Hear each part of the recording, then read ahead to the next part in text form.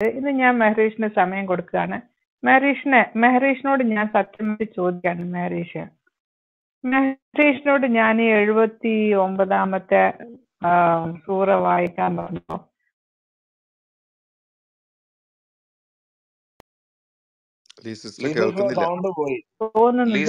Sound പോയി. ഇല്ലില്ല ഒന്നുകൂടെ ആദ്യം മുതൽ പറ. സൗണ്ട് പോയി. എൺപത്തൊമ്പതാമത്തെ അത് വായിക്കാമെന്നാ ചോദിച്ചത്. സ്ഥലം മാറിയിരിക്കാം. സ്ഥലം മാറിയിരിക്കാം. മറ്റേ പുള്ളി പറഞ്ഞ ശബ്ദം മാറിയിരിക്ക. കേൾക്കുന്നോ?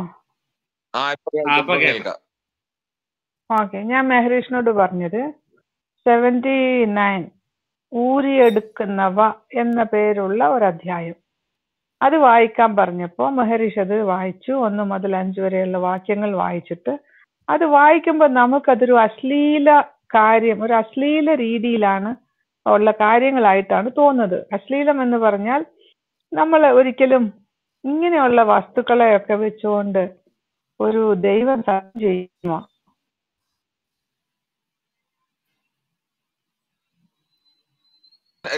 പിന്നെയും പോയി. നഷ്ടപ്പെട്ടു. മലക്ക് വരുന്ന വഴിയിൽ നിൽക്കാതെ ഇച്ചിരി സൈഡിലോട്ട് നിന്ന്.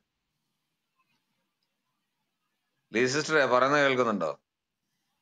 ലീ ഒന്ന് പുറത്തു പോയിട്ടോ ലിസിസ്റ്ററെ ഒന്ന് എക്സിറ്റ് ആയിട്ടൊന്ന് വന്ന് അല്ലെങ്കിൽ റേഞ്ചിൽ ഉള്ളിടത്തോട്ട് വന്നാൽ മതി റേഞ്ച് ഉള്ളിടത്തോട്ട്. ആ ലീ സിസ്റ്റർ ലീസിസ്റ്റർ ഒന്നും ലീ കേൾക്കില്ല സിസ്റ്റർ വരുന്നവരെ ഞാൻ ആ ആയത്തൊന്ന് വായിക്കാം. കാരണം ഇത് ദൈ- ദൈവത്തിന് സ്വയം സ്വന്തം പേരിൽ തന്നെ നമുക്ക് ഉൽപ്പത്തി പുസ്തകത്തിന്റെ പതിനഞ്ചാം അധ്യായത്തിൽ കാണാൻ പറ്റും. ലീസിസ്റ്റർ ഒന്ന് റേഞ്ചിൽ വാ. പുവർ കണക്ഷൻ കാണിക്കുന്നോ നോക്കിയേ. ഇല്ലല്ലോ. പക്ഷെ ഇടയ്ക്ക് ബ്രേക്ക് ആവുന്നു.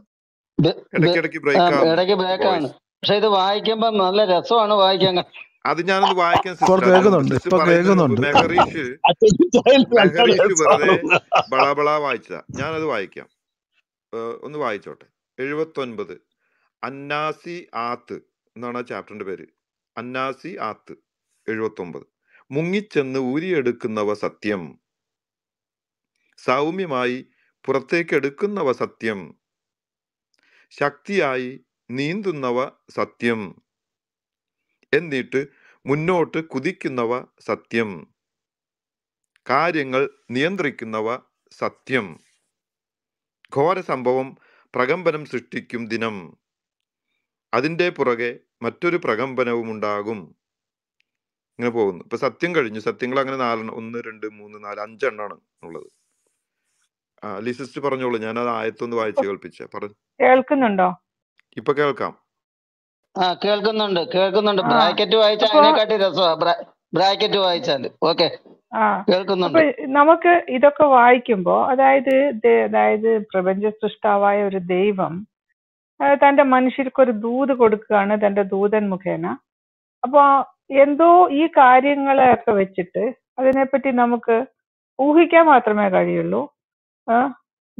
ഇറങ്ങിച്ചെല്ലുന്നവ സൗമ്യമായിട്ട് വലിച്ചെടുക്കുന്നവ പൂക്കോടെ ഒഴുകി വരുന്നവ അത് മുന്നോട്ട് പോകുന്നവ ഇങ്ങനെയൊക്കെ പറയുമ്പോൾ മനുഷ്യരുടെ മനസ്സിൽ ഒരു ഇത് എന്തുവാ ഇത്? ഇത് എന്തിനെ പറ്റിയായിരിക്കും ഇത് പറയുന്നത്? അപ്പൊ മാരേജിനോട് ചോദിച്ചപ്പോൾ പറഞ്ഞു അത് മരണത്തിന്റെ മലക്ക് പിടിക്കാൻ ആത്മാവിനെ പിടിക്കാൻ വരുന്നതിനെ പറ്റിയാണ്. മലക്ക് ആത്മാവിനെ പിടിക്കാൻ വരികയാണെങ്കിൽ ശക്തിയായിട്ട് ഒഴുകി ചെല്ലുകയൊക്കെ ചെയ്യും. അങ്ങനെയാ. അതിനൊരു ഒരു കണക്ഷൻ ഇല്ലാത്ത കാര്യമാണ് മാരേജ് ഇവിടെ പറഞ്ഞത്. അതൊക്കെ വിട്. ഞാൻ ഇതെല്ലാം വിടുന്നു. ഓക്കെ. ലീവ് ഇറ്റ് ഓൾ ഞാൻ മേറിന് മെഹറീഷിനോട് ചോദിക്കാണ്ട് മെഹറീഷ് ഇത്രയും കാലമായിട്ട് മഹേഷ് ഈ റൂമിൽ വരുന്നു. ഞങ്ങൾ സാധാരണ താങ്കളെ തഴയാറാണ് പതിവ്. പക്ഷെ ഒരു വെറുപ്പുണ്ടായിട്ടൊന്നുമല്ല. നമുക്ക് ഒരുപാട് സമയം വേസ്റ്റ് ആകും പിന്നെ താങ്കൾ സംസാരിച്ചു കൊണ്ടേയിരിക്കും പക്ഷെ ഇന്ന് വളരെ മാന്യമായിട്ട് കുറേ സമയം താങ്കൾ മിണ്ടാതിരിക്കുന്നതൊക്കെ കണ്ട് സന്തോഷം തോന്നുന്നു ഒരു കാര്യം മാത്രം ചോദിക്കാം മഹരീഷെ. മഹരീഷ് ആത്മാർത്ഥമായിട്ട് എന്തെങ്കിലും പുതിയ നിയമത്തിന്റെ ഒരു ചാപ്റ്ററോ അല്ലെങ്കിൽ ഒരു ഒരു ഗോസ്പലെങ്കിലും വായിച്ചിട്ടുണ്ടോ മഹരീഷെ? ഉണ്ട്. ഒരുപാട് വായിച്ചിട്ടുണ്ട്. ഒരുപാടല്ല. ഒരു ഒരു മുഴു മുഴുവൻ ഗോസ്പൽ ഒരു കണ്ടിന്യൂസ് ആയിട്ട് വായിച്ചിട്ടുണ്ടോ. ഫസ്റ്റ് ചാപ്റ്റർ മുതൽ അവസാന ചാപ്റ്റർ വരെ കണ്ടിന്യൂസ് ആയിട്ട്. വായിച്ചിട്ടുണ്ട്. ഏതാ വായിച്ചിട്ടുണ്ട്. ഏത് പുസ്തകം? ഏത്? പഴയ നിയമം ഉൽപ്പത്തി. പഴയ നിയമം അല്ല പുതിയ നിയമം. പുതിയ നിയമം വായിച്ചിട്ടുണ്ടോ? പുതിയ നിയമത്തിൽ യോഹന്നാൻ വായിച്ചിട്ടുണ്ട് മുഴുവൻ. മുഴുവൻ വായിച്ചിട്ടുണ്ടോ? അതിൽ നിന്ന് എന്താണ് താങ്കൾക്ക് മനസ്സിലായത്? ആദ്യം മുതൽ എത്ര ചാപ്റ്റർ ഉണ്ട് അതിൽ?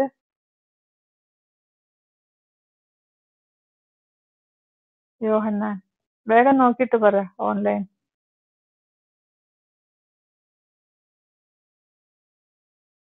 ബൈബിൾ കയ്യിൽ കയ്യിലുണ്ടല്ലോ ഓൺലൈനിൽ നോക്കേണ്ട ആവശ്യമില്ല. ചാപ്റ്റർ പിന്നെ ഇരുപത്തൊന്നെണ്ണോ യോഹന്നാനിൽ ഓക്കെ ഇരുപത്തൊന്ന്. അപ്പൊ ചെറിയൊരു പുസ്തകമാണ്. ഒരുപാട് വലിയ പുസ്തകമല്ല ഇരുപത്തൊന്ന് ചാപ്റ്റർ ഉണ്ട്. പക്ഷെ അതിലുള്ള വചനങ്ങളുടെയൊക്കെ എണ്ണം അധികം ഉണ്ട്. ഓക്കെ. അതിലൊരു നല്ല ഒരു ഓർമ്മയിൽ നിൽക്കുന്ന ഒരു വചനം പറയാമോ യോഹന്നാന്റെ പുസ്തകത്തിന്?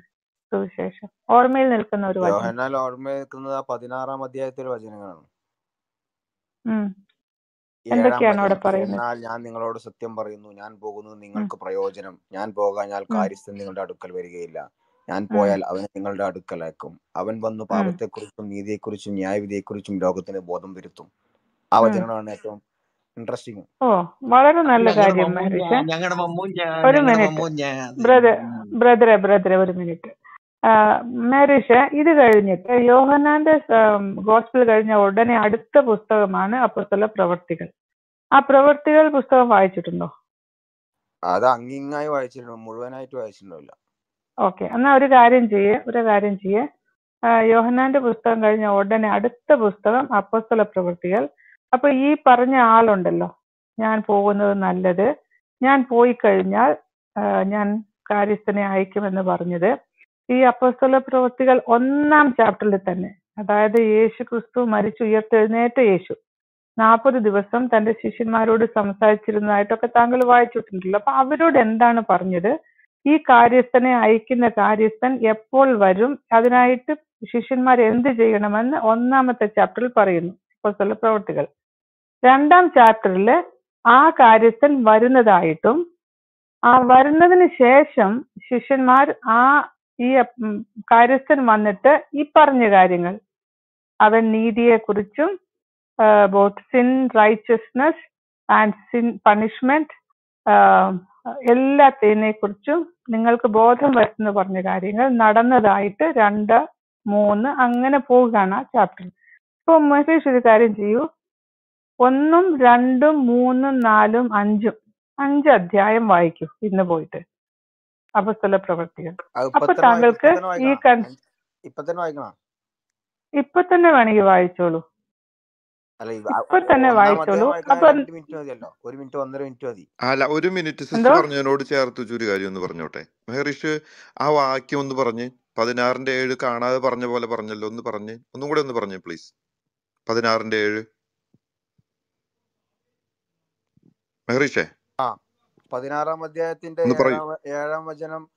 എന്നാൽ ഞാൻ നിങ്ങളോട് സത്യം പറയുന്നു ഞാൻ പോകുന്നത് നിങ്ങൾക്ക് പ്രയോജനം. ഞാൻ പോകാഞ്ഞാൽ കാര്യസ്ഥൻ നിങ്ങളുടെ അടുക്കൽ വരികയില്ല. ഞാൻ പോയാൽ അവനെ നിങ്ങളുടെ അടുക്കലാക്കും. അവൻ വന്നു പാപത്തെക്കുറിച്ചും നീതിയെക്കുറിച്ചും ന്യായവിധിയെക്കുറിച്ചും ലോകത്തിന് ബോധം വരുത്തും. അത് അതേ വചനം അതേ തന്നെ പന്ത്രണ്ടാം വചനം അല്ല മതി മതി മതി. അല്ല അല്ല നിർത്ത്. അങ്ങനെ പറഞ്ഞു പോകല്ലേ പ്ലീസ്. നിങ്ങൾ വായിക്കുമ്പോൾ നിങ്ങൾ ശ്രദ്ധിച്ചേ. ഞങ്ങൾ നിങ്ങളുടെ പുസ്തകം എടുത്തിട്ട് ഞാൻ വിഷയം മാറ്റല്ല കേട്ടോ സിസ്റ്ററിനകത്തോട്ട് വരികയാണ്. എഴുപത്തി ഒമ്പതാം ഞാൻ അധ്യായം വായിക്കാൻ പറഞ്ഞു. കാരണം ഞങ്ങൾക്ക് മനസ്സിലായില്ല സത്യം ചെയ്യാണ് ഈ താല. സത്യം സത്യം സത്യം. ഇവിടെ ആരാണ് സത്യം ചെയ്യുന്നത്? സത്യമായി ഞാൻ നിങ്ങളോട് പറയുന്നു.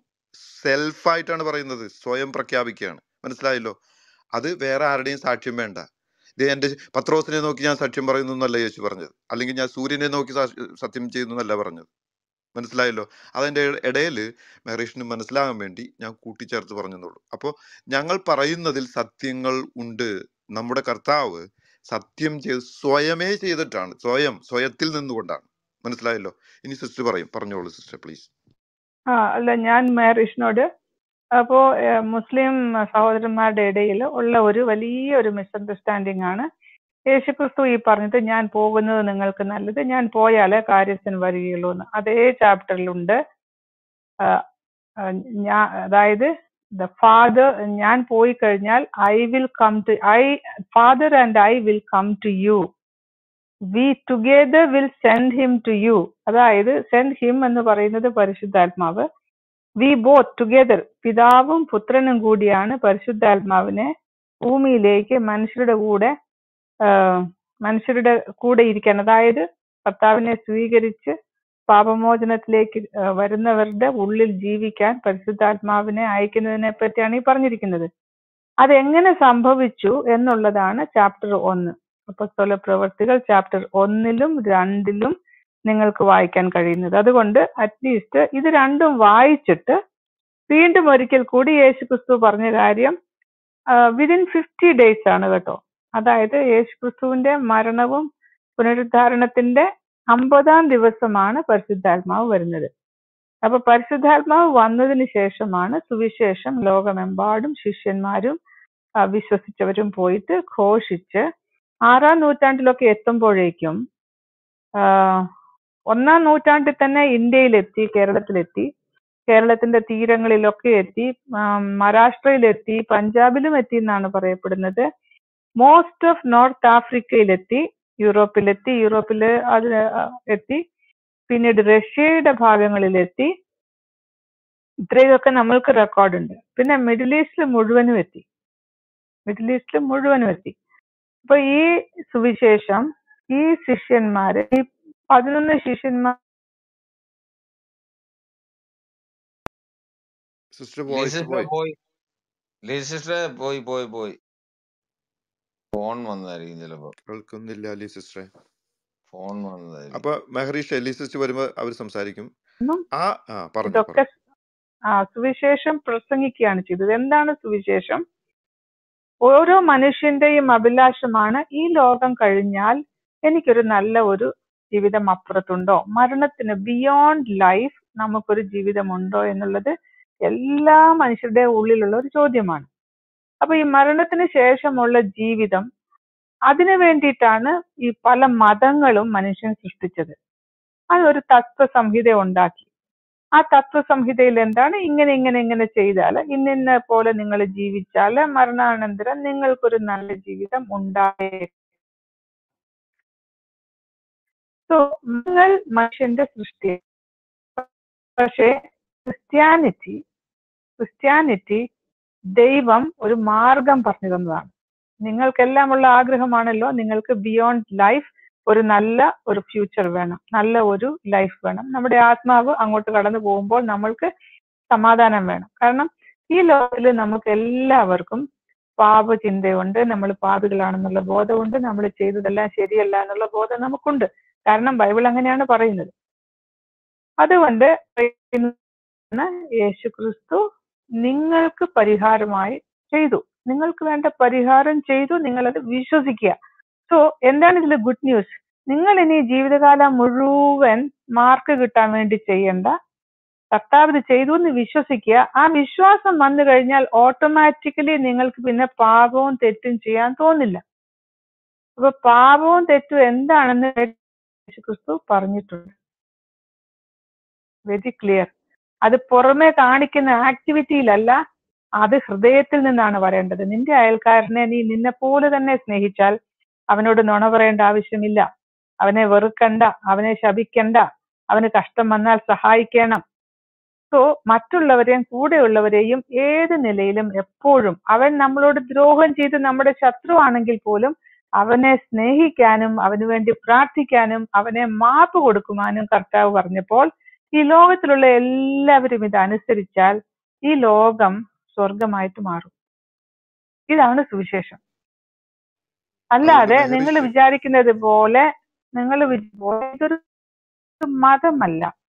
ഇതൊരു മനം മാറ്റമാണ്. ഓരോ മനുഷ്യന്റെ ഹൃദയത്തെ സംസ്കരിച്ച് ദൈവത്തിന് നിരക്കുന്നവരാക്കി മാറ്റുന്ന പ്രക്രിയയാണ് ക്രിസ്ത്യാനിറ്റി. ഇതാണ് ഞങ്ങൾ പ്രസംഗിക്കുന്നത്. ഇതിനിടയിൽ ഒരുപക്ഷെ ഞങ്ങൾ ശരിയാണ് ഖുർആൻ വായിച്ച് ഞങ്ങൾ ചിരിക്കും കുറച്ച് എന്റർടൈൻമെന്റ് ഒക്കെ ചിലപ്പോൾ നടത്തും. പക്ഷേ ഖുറാനിൽ ഒരു സന്ദേശമില്ല. നിങ്ങൾക്ക് രക്ഷയ്ക്കൊരു ദൂതില്ല. നിങ്ങളെ രക്ഷിക്കാനായിട്ട് ആരും വന്നിട്ടില്ല. നിങ്ങൾ സ്വയം വർക്ക് ചെയ്യണം. നിങ്ങൾക്ക് തന്ന തത്വസംഹിത എല്ലാം നിങ്ങൾ ചെയ്ത് ചെയ്ത് ചെയ്ത് ചെയ്ത് അവസാനം മരിക്കുമ്പോഴും മുഹമ്മദിന് പോലും ഉറപ്പുണ്ടായിരുന്നില്ല മുഹമ്മദ് എവിടെ പോകുന്നു. ഹദീസുകൾ രണ്ടു മൂന്നെണ്ണം ഞാൻ എഴുതി വെച്ചിട്ടുണ്ട്. മുഹമ്മദ് പറയാണ് തന്റെ മകളോടും ഒരു അമ്മായി സഫിയ എന്ന് പറഞ്ഞൊരു അമ്മായി ഉണ്ടായിരുന്നു. അമ്മയോട് പറയാണ് നിങ്ങൾ നിങ്ങളുടെ രക്ഷ you you see to your own salvation for I do not know what will happen to me എനിക്ക് തന്നെ എന്ത് സംഭവിക്കുമെന്ന് എനിക്ക് അറിഞ്ഞുകൂടാ why because there was no one that he believe to save okay so ഇതാണ് സുവിശേഷം. അപ്പൊ പാവികൾക്ക് അതായത് പാവി എന്ന് പറയുമ്പോൾ ഞാൻ ഒന്ന് പറയാം ഞാൻ ഒരു പക്ഷെ മോഷ്ടിച്ചിട്ടുണ്ടാവില്ല എന്റെ ഓർമ്മയിൽ പക്ഷേ ദൈവത്തിന്റെ സൃഷ്ടിയിൽ ഞാൻ പലതും എനിക്ക് അർഹതയില്ലാത്തത് ഞാൻ എടുത്തിട്ടുണ്ടാവാം. ഓക്കെ? പക്ഷെ ഞാൻ മോഷ്ടിച്ചിട്ടുണ്ട്. ചില സാധനങ്ങൾ ചെറുപ്പത്തിലൊക്കെ നമ്മൾ അങ്ങോട്ടും ഇങ്ങോട്ടും നമ്മുടെ നമ്മുടെ ബുദ്ധിമുട്ടുകളിൽ ചിലപ്പം ചോദിക്കാതെ പലരുടെയും സാധനം എടുത്തിട്ടുള്ളവരാണ്. പലപ്പോഴും നുണ പറഞ്ഞിട്ടുള്ളവരാണ്. ഒരു ബുദ്ധിമുട്ട് വരുമ്പോൾ നമ്മൾ ചെയ്താത്തൊക്കെ ചെയ്യുന്നവരാണ്. പക്ഷെ കർത്താവിനെ അറിഞ്ഞതിന് ശേഷം നമുക്ക് അങ്ങനെ ചെയ്യാൻ ഒരു ആഗ്രഹം വന്നാലും നമ്മൾ കൈ പുറകോട്ട് വെക്കും. We fear God because we know the Lord is with us നമ്മുടെ കൂടെ പരിശുദ്ധാത്മാവ് ഉള്ളപ്പോൾ നമുക്കൊരാ കാര്യം നമുക്കൊരാവശ്യമുണ്ട് പക്ഷെ നമുക്കത് വേണ്ടാന്ന് വെക്കാനുള്ള ശക്തി ദൈവം തരും. അതുപോലെ തന്നെ ഒരു സ്ത്രീയെ നിങ്ങൾ ആസക്തിയോടെ നോക്കിയാൽ നിങ്ങളുടെ ഹൃദയത്തിൽ നിങ്ങൾ വ്യഭിചാരം ചെയ്തു എന്നാണ് കർത്താവ് പറഞ്ഞത്. അപ്പോൾ ഞാൻ പറയുന്നില്ല. എല്ലാ ക്രിസ്ത്യാനികളും പരിശുദ്ധന്മാരാണ് നോക്കാത്തവരാണെന്ന്. പക്ഷേ നോക്കുമ്പോൾ അവരുടെ ഹൃദയത്തിൽ അവർ ഹൃദയം പറയും നീ ചെയ്യുന്നത് തെറ്റാണ്. അന്യന്റെ മകളാണ് അല്ലെ അന്യന്റെ ഭാര്യയാണ് അന്യന്റെ സഹോദരിയാണ്. നിന്റെ സഹോദരിയെ പോലെ നീ കാണണം. എന്നുള്ള ബോധം അവൻ ഈ പുസ്തകം വായിക്കുന്നത് കൊണ്ടുണ്ടാകും. അപ്പൊ ഇതൊരു വലിയ ഒരു ഡിഫറൻസ് ആണ്. ഖുറാനായിട്ടും ബൈബിളായിട്ടുള്ള വ്യത്യാസമാണ്. ഖുറാനിൽ നിങ്ങളുടെ ലൗകിക ആവശ്യങ്ങൾ ശരീര ആവശ്യങ്ങൾക്കാണ് മുൻഗണന. അത് ചെയ്താൽ ഒരു കുറ്റവുമില്ല ഒരു തെറ്റുമില്ല നിങ്ങൾക്ക് തെറ്റ് തോന്നേണ്ട ആവശ്യമേ ഇല്ല. പക്ഷെ ഞാനൊരു കാര്യം ചോദിക്കാം മേറീഷിനോട് നിങ്ങൾക്ക് പുരുഷന്മാർക്ക് ആസക്തിയോടെ സ്ത്രീയെ നോക്കാം നാല് ഭാര്യമാരെ വെക്കാം. അതിന് മുകളിലും നിങ്ങൾക്ക് അനുവാദമുണ്ട്. പക്ഷേ നിങ്ങളുടെ സിസ്റ്ററെ നിങ്ങളുടെ സ്വന്തം പെങ്ങളെ ഒരുത്തൻ ആസക്തിയോടെ നോക്കുന്നത് കണ്ടാൽ നിങ്ങൾക്ക് ദേഷ്യം വരത്തില്ലേ? ആരെങ്കിലും പയ്യന്മാര് പുറകെ നടന്ന് അവൾ അടിച്ചോണ്ട് പോകുന്നത് നിങ്ങൾ വെറുതെ ഇരിക്കുമോ? അപ്പോ ദൈവത്തിന്റെ മക്കളാണ് എല്ലാവരും. ദൈവത്തിന്റെ മക്കളെ ആസക്തിയോടെ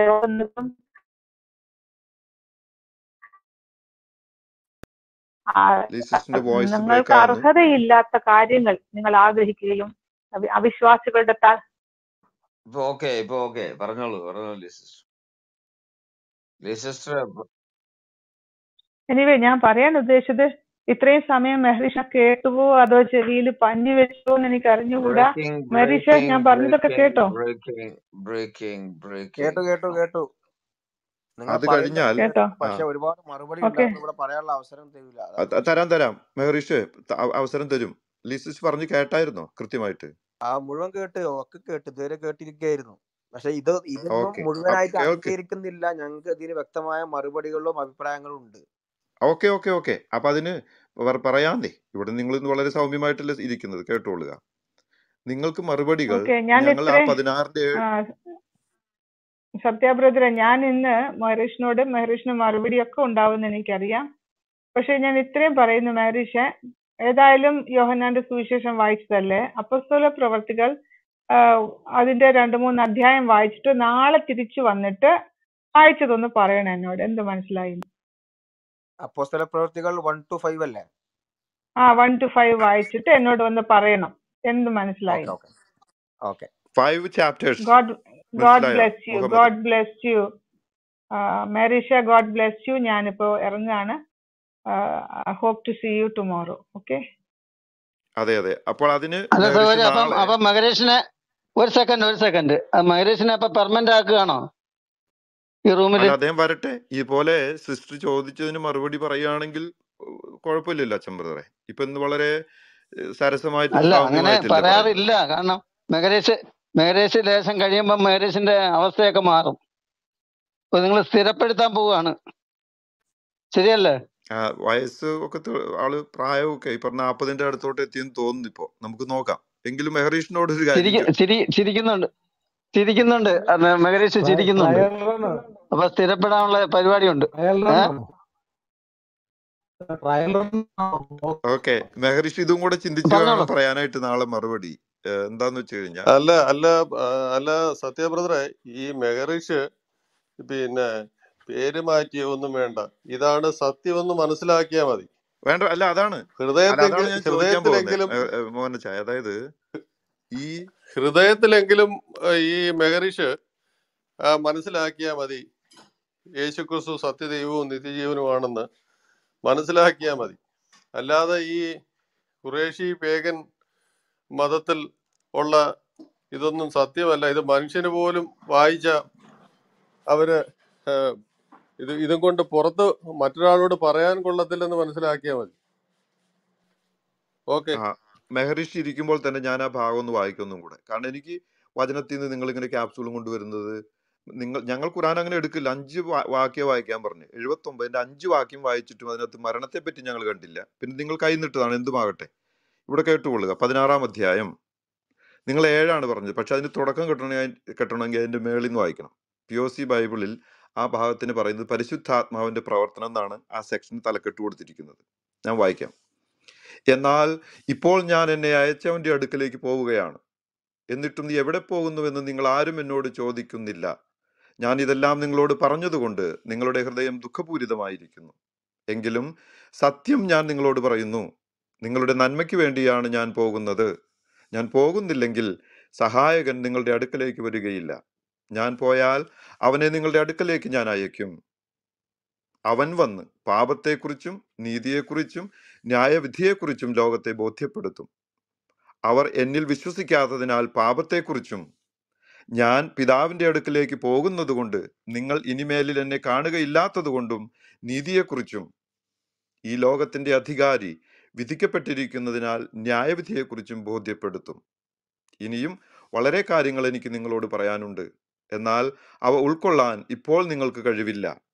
സത്യാത്മാവ് വരുമ്പോൾ നിങ്ങളെ സത്യത്തിന്റെ പൂർണതയിലേക്ക് നയിക്കും. അവൻ സ്വമേധയാ ആയിരിക്കേയില്ല സംസാരിക്കുന്നത്. അവൻ കേൾക്കുന്നത് മാത്രം സംസാരിക്കും. വരാനിരിക്കുന്ന കാര്യങ്ങൾ അവൻ നിങ്ങളെ അറിയിക്കും. അവൻ എനിക്കുള്ളവയിൽ നിന്ന് സ്വീകരിച്ച് നിങ്ങളോട് പ്രഖ്യാപിക്കും. അങ്ങനെ അവൻ എന്നെ മഹത്വപ്പെടുത്തും. പിതാവിനുള്ളതെല്ലാം എനിക്കുള്ളതാണ്. അതുകൊണ്ടാണ് എനിക്കുള്ളവയിൽ നിന്ന് സ്വീകരിച്ച് അവൻ നിങ്ങളോട് പ്രഖ്യാപിക്കും എന്ന് ഞാൻ പറഞ്ഞത്. പ്രൈസ് ലോഡ് ഇത് കേട്ടല്ലോ. ഇത് കേൾക്കുമ്പോൾ മുഹമ്മദ് മുഹമ്മദിയർ സാമാന്യം എടുത്ത് പറയാനുള്ളത് ദാ വരുന്ന ഒരാൾ. നിങ്ങളുടെ സമയം ഇപ്പോഴും സമാഗതമായ സമയമായിട്ടില്ല. അതുകൊണ്ട് നിങ്ങൾക്ക് ഉൾക്കൊള്ളാനായിട്ടില്ല. അപ്പോൾ വേറൊരാളെ ഞാൻ അയക്കും എന്നുള്ള രീതി കൂടെയാണ്. സിസ്റ്റർ അതിവിടെ പറഞ്ഞു കഴിഞ്ഞു. അപ്പസ്തോല പ്രവർത്തികളിൽ നിങ്ങൾക്കത് മനസ്സിലാകും. തന്നെയുമല്ല നിങ്ങൾ മുഹമ്മദിനെ പറ്റിയിട്ടാണ് പറയുന്നതെങ്കിൽ യേശു ക്രിസ്തുവാണ് മുഹമ്മദിനെ അയച്ചതെന്ന് വേണം നിങ്ങൾ അംഗീകരിക്കാൻ. ഒരു കാര്യം. രണ്ടാമത് പിതാവിന്റെ നിന്ന് എടുത്തു തരുന്നു എന്ന് പറയുന്നത്. അപ്പോൾ യേശു ക്രിസ്തുവിന് പിതാവുണ്ട്. യേശുവിന്റെ പിതാവാണ് പിതാവായ ദൈവമെന്ന് നിങ്ങൾ അംഗീകരിക്കണം. പിന്നെ ഇതിൽ മുഹമ്മദിനെ പറ്റിയാണ് പറഞ്ഞതെങ്കിൽ ഇത് സത്യമാണെങ്കിൽ ഈ ബൈബിൾ ഭാഗം സത്യമാണെന്ന് നിങ്ങൾ അംഗീകരിക്കണം.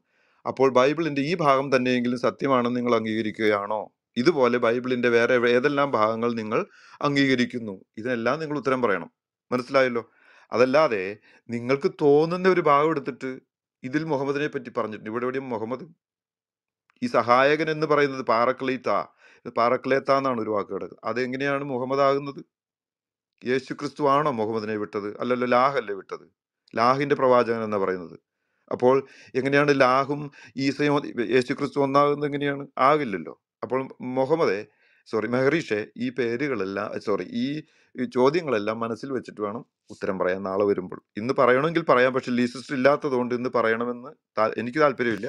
അപ്പസ്തോല പ്രവൃത്തികളും കൂടെ വന്ന് പാടി പഠിച്ചിട്ട് സത്യ ആ ബ്രദറെ ആ ഈ പാരാക്ലീത്തയും കാര്യസ്ഥനും ഈ ഉത്തമഗത്തിലെ മെഹമ്മദിമും ഇത് ആവർത്തന പുസ്തകത്തിലൊക്കെ ഇത് ഇവരുടെ പണ്ഡിതന്മാരെന്ന് പറയുന്നത് ലോകോത്തര പണ്ഡിതന്മാരെല്ലാം ഓൾറെഡി ഈ ക്രിസ്ത്യൻ സ്കോളേഴ്സ് ഡീബങ്ക് ചെയ്ത് റെഫ്യൂട്ട് ചെയ്ത് ക്ലോസ് ചെയ്ത കേസ് ഇത് ഇപ്പോഴും ഈ കറങ്ങി നടക്കുന്നതെന്നറിയാം ഇതിനെക്കുറിച്ച് യാതൊരു വിധമായ ഗ്രാഹ്യം ഇല്ലാത്തതുകൊണ്ട്.